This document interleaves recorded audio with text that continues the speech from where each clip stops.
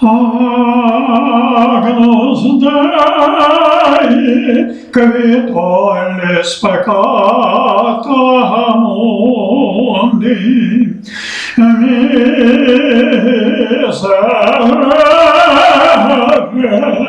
miserere nobis.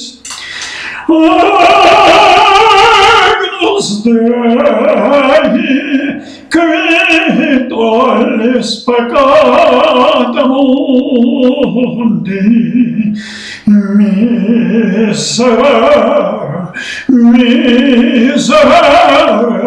miser.